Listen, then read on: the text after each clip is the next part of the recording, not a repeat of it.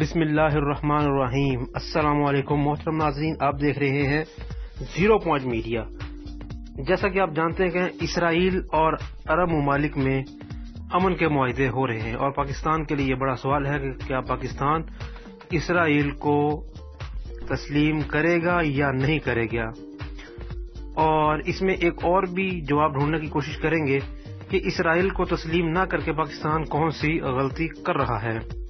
جیسا کہ آپ جانتے ہیں کہ متحدہ عرب امارات کے بعد اب بحرین نے بھی اسرائیل کو تسلیم کر لیا ہے اور منگل کو واشنگٹن میں وائٹ ہاؤس میں امریکہ کے صدر ڈونلڈ ٹرمپ کی موجودگی میں اسرائیل متحدہ عرب امارات اور بحرین کے رہنما اسرائیل کو تسلیم کرنے کے اس تاریخی معاہدے پر دستخط کریں گے۔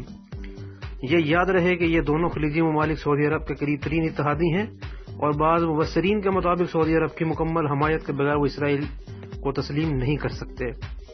اس سے قبل بھی اسرائیل اور متحدہ عرب امارات کے درمیان معاہدے کے بعد ابو ظہبی اور تلبیب کے درمیان پروازیں شروع ہو چکی ہیں۔ اسرائیلی طیارے سعودی عرب، کویت اور بحرین کی فضائی حدود سے گزر کر امارات پہنچیں گے۔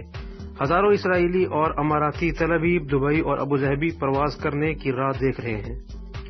متحدہ عرب امارات کے صدر نے گزشتہ دنوں ایک فرمان کے ذریعے اسرائیل کے اقتصادی بائی کاٹ کی قرارداد کو ختم کر کے اسرائیل سے اقتصادی تعلقات کے آغاز کی راہ جو ہے وہ ہموار کر دی ہے۔ اور اس معاہدے کا فلسطینیوں کے مستقبل پر کیا اثر پڑے گا یہ بھی معلوم نہیں۔ لیکن فلسطینیوں نے اس فیصلے کو قبول نہیں کیا۔ فلسطین نے اسرائیل کو تسلیم کیے جانے پر بحرین کے بھی مذمت کی ہے۔ واضح رہے کہ بحرین اسرائیل کو تسلیم کرنے والا چوتھا عرب ملک ہے۔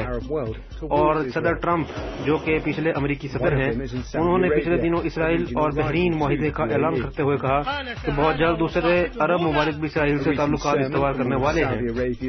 اور اخبار نیو یارک ٹائم نے یونیورسٹی میں سعودی امور کے ایک ماہر برنارڈ ہیکل کے حوالے سے لکھا ہے کہ یہ ایک سلسلے کا آغاز ہے اور اس طرح کے اشارے مل رہے ہیں کہ سعودی عرب سے سعودی عرب جو ہے وہ اسی جانب گامزن ہے۔ حالانکہ سعودی فرماروا سعودی فرمارواؤں کے لیے یہ راستہ مشکلوں سے بھرا ہوگا۔ گزشتہ دنوں امریکی انتخاب میں ڈیموکریٹک پارٹی کے صدر امیدوار جو بائیڈن نے انتخابی مہم کے دوران ایک سوال کے جواب میں کہا کہ اگر یہودی اکثریت والی اسرائیلی ریاست کو پاکستان جیسے مسلم مقصد تھی ممالک تسلیم کرتے ہیں تو یہ قیام امن کے لیے بہتر ہوگا۔ لیکن اس صورتحال میں اسرائیل کو بھی دو مملکت کے سیاسی حل یعنی اسرائیل کے ساتھ ساتھ ایک آزاد فلسطینی مملکت کے قیام پر بھی عمل کرنا ہوگا۔ امارات اور اسرائیل کے حالیہ معاہدے کے اعلان کے بعد پاکستان میں بھی اسرائیل کے سوال پر بحث ہوئی۔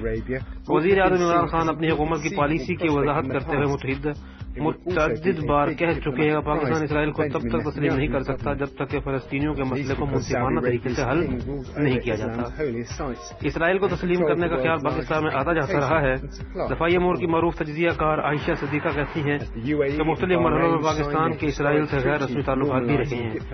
انیس سو ستر کے عشرے میں پاکستان نے ایران کے توسط سے اسرائیل سے ہتھیار خریدے۔ اس وقت ایران کے شاہ پاکستان کے پیامبر کا کردار ادا کیا کرتے تھے۔ جنرل ضیاء الحق کے زمانے میں بھی ایسا ہوا تھا۔ اس وقت پاکستان کے توسط سے امریکہ اور اسرائیل سے ہتھیار خرید کر ایران پہنچائے گئے اسی طرح کے غیر رسمی تعلقات تو رہے ہیں لیکن روایتی سفارتی تعلقات قائم کرنے کے بارے میں بھی بات چیت جنرل پرویز مشرف کے دور میں ہوئی تھی پرویز مشرف نے امریکہ میں جیو کانفرنس سے خطاب کیا تھا انہوں نے وزیر خارجہ خورشید محمود قصوری کو اسرائیلی نمائندوں سے بات چیت کرنے کے لیے ترکی بھیجا تھا لیکن بات چیت ایک حد سے آگے نہ بڑھ سکی جنوبی ایشیا کے خارجی امور کی تجزیہ کار نروپما صبرا منین کہتی ہیں کہ خواہ وہ پاکستان کی سویلین حکومت ہو یا پاکستان کی فوج؟ پیپلز پارٹی کی حکومت ہو یا نواز شریف؟ کے اندر یہ اندر سبھی یہی کہتے ہیں کہ یہ مسئلہ سفارتی طریقے سے حل ہو جائے۔ کیونکہ انہوں نے بھی یہ محسوس کیا کہ دنیا بہت آگے بڑھ چکی ہے ساتھ یہ بھی کہ پاکستان مشرق وسطی میں اپنے لیے کوئی کردار نہیں دیکھ رہا۔ عائشہ صدیقہ کہتی ہے کہ جس طرح ہم نے اپنے معاشرے کی تربیت کی ہے اس میں یہ مسئلہ بہت پیچیدہ ہے کہ ایک دو دن میں حل نہیں ہو سکتا ہوا وہ پاکستان کے عسکری ادارے ہوں یا حکومت پاکستان کے لیے اسرائیل کو تسلیم کرنے کا سوال بہت بڑا سیاسی اور سوارتی چیلنج ہے۔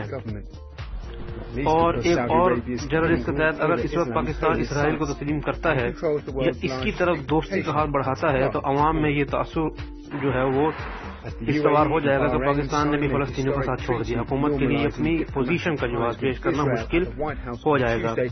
اور صدیقہ صاحبہ کہتی ہیں کہ اگر آپ ایک ایسا قدم اٹھائیں گے جس سے معاشرے میں سخت بے چینی پیدا ہو سکتی ہے اس وقت. جو قیمت ہے اس کی بہت زیادہ ہوگی۔ میرے خیال میں کوئی بھی اس وقت اس حالت میں نہیں جو یہ فیصلہ کر سکے۔